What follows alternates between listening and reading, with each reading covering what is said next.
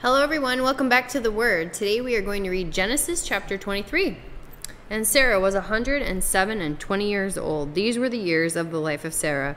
And Sarah died in Kirjath Arba, the same as Hebron, in the land of Canaan. And Abraham came to mourn for Sarah and to weep for her.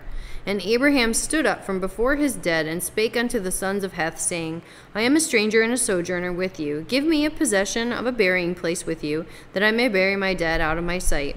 And the children of Heth answered Abraham, saying unto him, Hear us, my lord, thou art a mighty prince among us. In the choice of our sepulchres bury thy dead. None of us shall withhold from thee his sepulchre, but that thou mayest bury thy dead.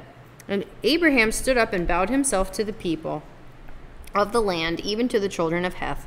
And he communed with them, saying, If it be your mind that I should bury my dead out of my sight, hear me and entreat for me to Ephron the son of Zohar, that he may give me the cave of Machpelah, which he hath, which is in the end of his field, for as much money as it is worth, and he shall give it me for a possession of a burying place amongst you. And Ephron dwelt among the children of Heth, and Ephron the Hittite answered Abraham in the audience of the children of Heth, even of all that went in at the gate of his city, saying, Nay, my lord, hear me. The field I give thee, and the cave that is therein I give it to thee. In the presence of the sons of my people I give it to thee. Bury thy dead. And Abraham bowed down himself before the people of the land, and he spake unto Ephron in the audience of the people of the land, saying, But if thou wilt give it, I pray thee, hear me. I will give thy money for the field. Take it from me, and I will bury my dead there. And Ephron answered Abraham, saying unto him, My lord, hearken unto me. The land is worth four hundred shekels of silver. What is that between me and thee? Bury therefore thy dead.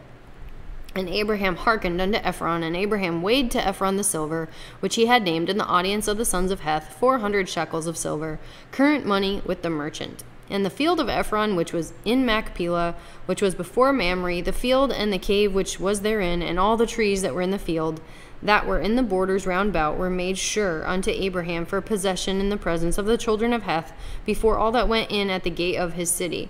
And after this, Abraham buried Sarah his wife in the cave of the field of Machpelah, before Mamre, the same as Hebron in the land of Canaan. And the field of the cave that is therein were made sure unto Abraham for possession of a burying place by the sons of Heth. That's the end of chapter 23. Come back next time for chapter 24.